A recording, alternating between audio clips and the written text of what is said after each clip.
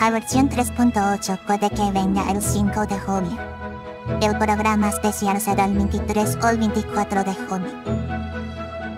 Durante el programa de la 3.8 hablarán algunos personajes de Fontaine. Y como siempre darán 300 protogemas por el mantenimiento. También ya vimos sobre el buceo en el anterior programa. A mí no me convence mucho, ¿y a ustedes? 아